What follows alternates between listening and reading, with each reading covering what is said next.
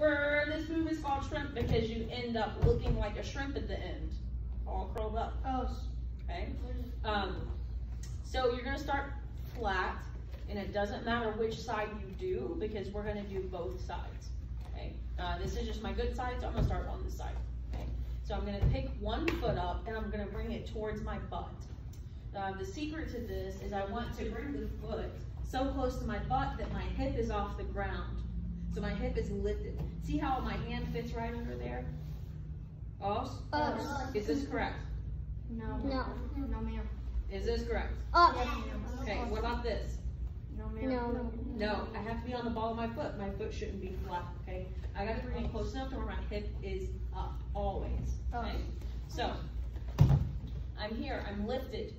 Now, this is my lift, my turn. I'm gonna turn towards my dead leg or my straight leg. Oh. Oh, so this is my dead leg. I'm gonna turn to my side. I take my frame, everyone say frame. Frame. And we've talked about this before, but this is always your frame. You're creating space with your Oh. frame.